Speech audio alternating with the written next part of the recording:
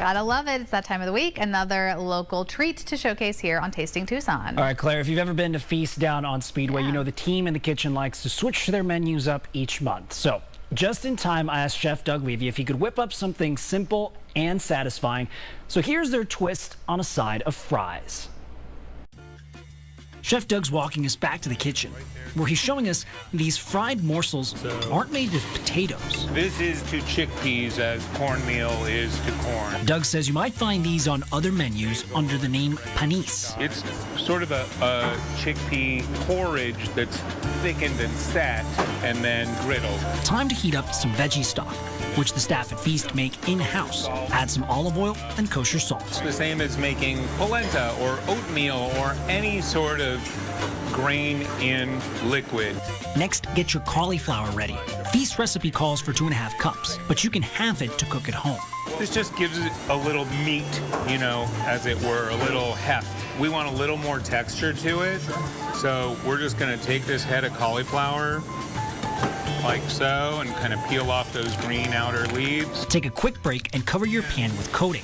Doug says you can use butter or olive oil here too. Next, bring that veggie stock to a boil. Doug says you want to reduce it to simmer and gradually whisk in your chickpea flour. Because you don't want to cook this too quickly. It'll get gluey and, and sticky. Now take your cauliflower and fold it in.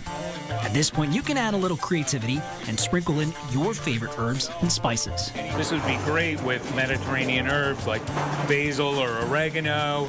It would be great with maybe some garlic. And you can see it hardly takes any time at all to do, right? Five ingredients and you have this end result.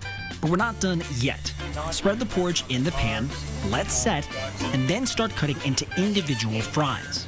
Doug says how you prepare this mix will change its health benefits. The team at Feast likes to deep fry these for diners. I mean, everything's kind of crunchy and crispy and beautiful when you deep fry it, but, right? But we can't always deep fry everything.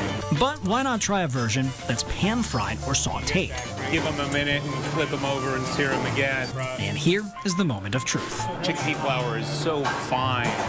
There's not, there's not a lot of weight to it. What do we think, guys? If only these restaurants opened at 5 in the I morning. know. I'm so That looks so good. They need an early morning crowd for us. So you can imagine that's an awesome compliment to like a big hearty protein meal. Doug tells me at Feast they like to serve these with their hanger steak. So you better oh. come with a big appetite Yeah. to eat all of that. Okay, Sounds then. great. And, it Doesn't like- take us much in the morning. to Yeah, have a I'll, oh, I'm appetite. down. I'm right. I, I loved him explaining this again, like you saw, five ingredients. That's all it took. You I can find the chickpea flour in usually a lot of flour aisles now, not just Whole Foods. I think it's much more So common easy. now. Yeah, that's And the recipe is going to be up on the Tasting Tucson tab of KGUN9.com so you can follow along. yeah, nice. got to do that. That sounds great. Oh,